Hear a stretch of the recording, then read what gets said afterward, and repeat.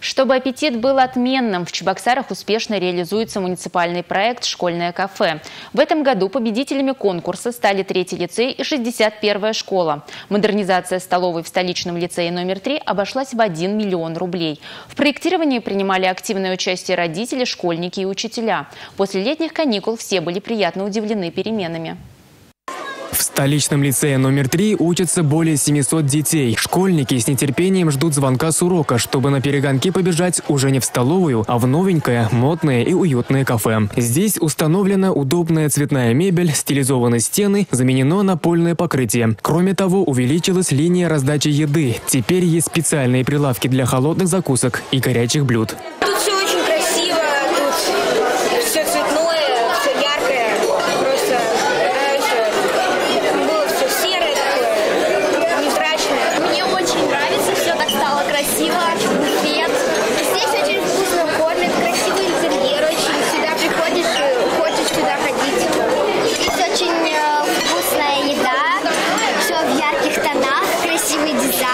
В лицее говорят, для учеников это не просто кафе, а комфортное место, где дети проводят время между уроками. Детям негде собираться, вот коридоры все прямые, уголков особых нету.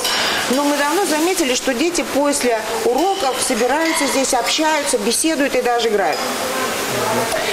Ну и предоставить им такую возможность, чтобы столовая не только их кормила, но и была э, очень хорошим местом для общения, э, местом, где хочется быть и общаться, конечно, это очень хорошо. Новый учебный год требует много сил от школьников. Над пищей для ума трудятся повара. Все самое вкусное, свежее и полезное, уверяют они. Стоимость питания остается неизменной. Завтрак 23 рубля, обед 46. Ассортимент увеличился.